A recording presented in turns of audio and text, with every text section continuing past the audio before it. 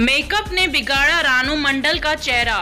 Users ने memes बनाकर उड़ाया मज़ाक। दोस्तों, आपको पूरा वीडियो दिखाएँ। उससे पहले मैं मनी जादवानी।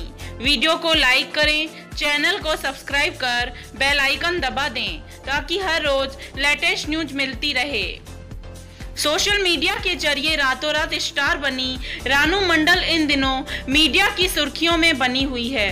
पिछले दिनों उनकी एक वीडियो सोशल मीडिया पर काफ़ी वायरल हुई थी, जिसमें रानू मंडल अपनी एक फ़ैन पर काफ़ी गुस्सा हो रही थी।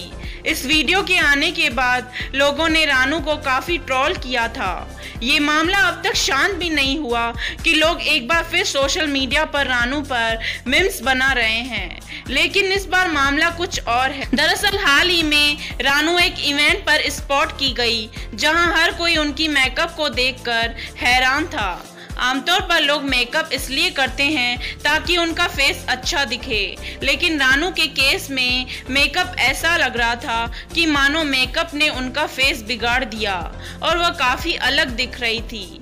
फिर क्या? सोशल मीडिया पर इस तस्वीर के आने के बाद ट्रोल आर्मी को एक नया मुद्दा मिल गया और वो लगे हाथों रानू को ट्रोल करने लगे।